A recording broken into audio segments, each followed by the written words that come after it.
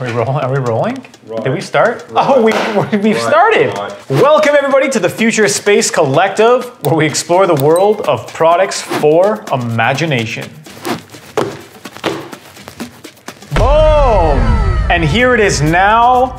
This is the Divoom Pixoo 64, a pixel art display similar to the two pixel art displays that are currently running in the background that are also products by Divoom. I'm referring to this product right here, boom, and this in the background right here, which is another pixel art display. These are my retro pixel art displays that I've done a video on. These are also very good Bluetooth speakers among all the rest of the cool stuff that the Divoom products do because they integrate with an app. But today, their newest product, the Pixoo 64, which is now a smart home display, meaning it connects directly to the Wi-Fi, the Wi-Fi, which gives it the capability to be constantly fed data and it can visualize that data. What data might you be asking? Asking? What day might you be asking? What date might you be asking them? Stocks and social media counters and give you live data viz that way. But let's crack it open. Let's put these back and let's jump right into the new Pixoo 64. Carefully take off the shrink wrap, shrimp wrap. The Pixoo 64 is the most unique and versatile pixel art display by Divoom yet. Using the wireless internet connectivity, provides the live status of your social media accounts, posts. You can also use Pixoo 64 as a decoration with your favorite pixel art animations. So if you're familiar with Divoom products, they've increased the pixel count on this one to double of their last display, which was 32 pixels. This one's now 64, and the ones in the back are 16.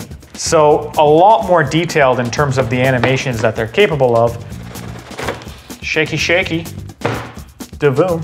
So power cable,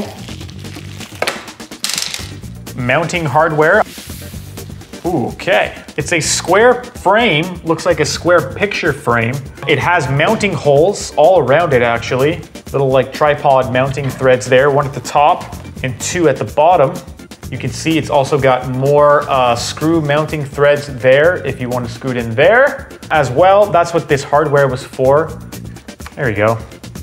So I'm not gonna screw it in fully, but basically, if you want, it also comes with these, these pieces of hardware. You can screw them in, and it creates like these little eyelid things here. So they give you many mounting options for this thing. On the back, there's also a kickstand that pops out. So on this bottom sort of screw hole, you just sort of clip it into the back, and you can use it in picture frame mode. This is a device that does need power. It does not have a built-in battery. The intention is to have it be a more permanent display and you're kind of good to go. On the side here, you have your power and it looks like you can actually cycle through the modes too. So test, test. Oh, so that's audio vis mode.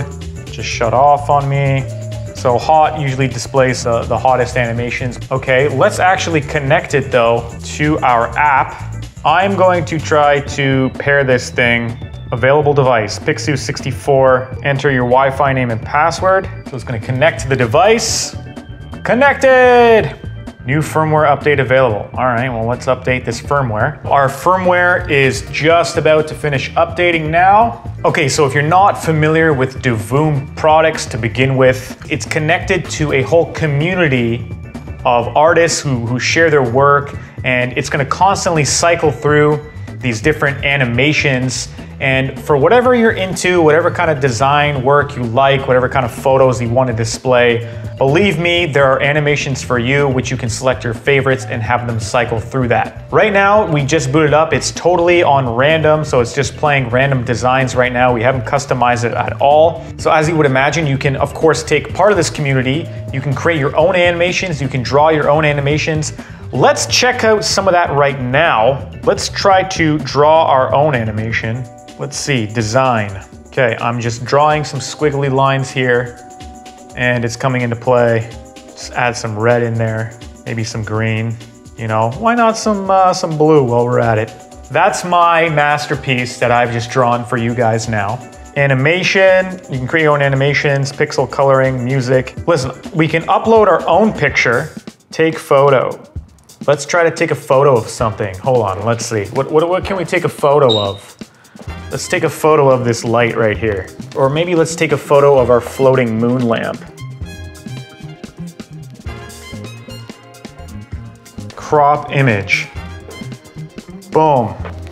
And there you go. I just took a photo of my floating globe in the back and it just made a pixelized version of it. So you can upload any picture and it will convert it into pixel magic here. Buying some NFTs lately? Throw your non-fungies up on the display. Okay, so the thing that I'm most interested in, what I think makes this really cool, is the connectability to social media apps, um, different kinds of clocks and calendars, different kind of financial data, different kind of games. You can connect it to game data. There's holiday counters. For example, this is a clock on the number of days to Christmas. You can have a Spotify clock.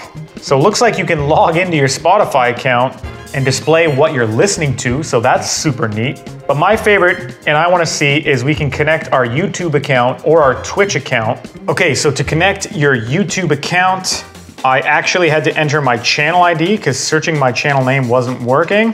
But I got my channel ID copied and pasted. Boom, it shows up. Okay, so it's displaying the current amount of subscribers and the current view count. We can actually go in, we can disable view counts if we want it. Uh, so we can just have it display the live subscriber count at all times and it'll scroll your channel name at the bottom there. And then it gives the time and the date of today. So that's pretty cool. You can also connect your Twitch, your Twitter. So we can actually display all of our social media accounts at once through this clock right here. But there's a ton of different clocks if you just want the date and the time. This one's called Iced Lemonade Clock. If you look in this app here, there's, there's like a ton of clocks to choose from. This one's pretty funny because I have a watch that looks very similar to that. We can actually get a live update on different cryptocurrencies. So at the time of this recording, Bitcoin's at $43,000 for all you folks who care for that kind of thing. Select currency. So you can select what currency to convert it to within the settings. You can do the stocks. Yep, which stocks you want it to um, display exchange rate, cyber currency. So I think this one is if you want to select, you know, a number of different cryptocurrencies, it can load that data up there. So Ethereum, uh, page, you can select different pages. So, you know, by default, it has Ethereum, Dogecoin, Binance, Cardano, Solana, and the list goes on. But that's pretty neat. What else we have? We got game stats you can display. For example, like League of Legends, Apex Legends, Overwatch, Fortnite stats. They even have a COVID-19 tracker, apparently. That's, I don't even know what to say about that. Amazon Music, Fitbit clock, different RSS feeds you can put, world clock, just a bunch of different options here. Okay, so the next thing, of course, to do is to try out the music visualizer modes here. So it looks like there's a total of 12 different visualizers you can choose from here in the app. All right, let's uh, let's let's throw Crab Rave on.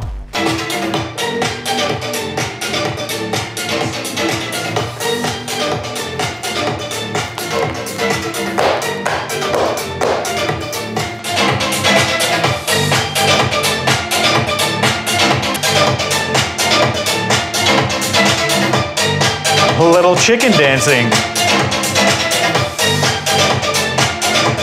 So it is reacting, because if we kill the music, now it's reacting to my voice.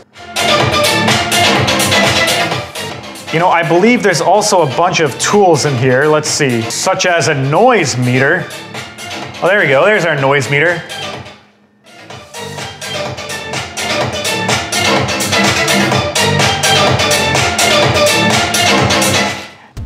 Okay, so in addition to the sort of Wi-Fi data visualization, the different clocks, dates, and all the animations, it does have an array of built-in tools like stopwatches, alarms. It has a countdown meter, so you can just set how many minutes, boom, start, and it'll count down. Scoreboard, voice command, stopwatch, countdown meter, noise meter, alarm planner, music, design, animation, pixel coloring, and now with the Pixoo 64, you can actually also control this with your Amazon Alexa. So I'm gonna link it right now with my Alexa.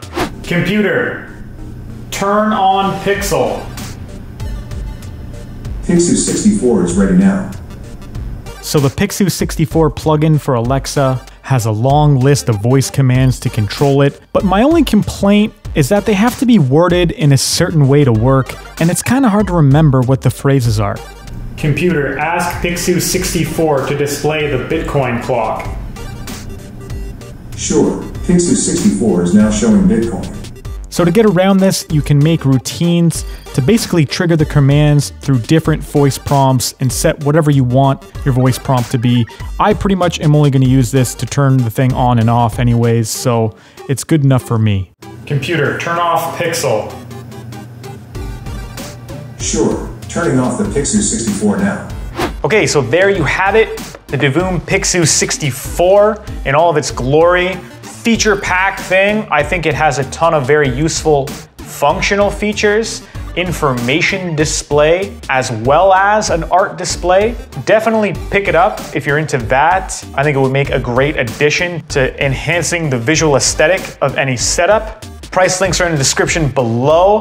If you're curious about the shirt I'm wearing, it's made by a company called Into the AM.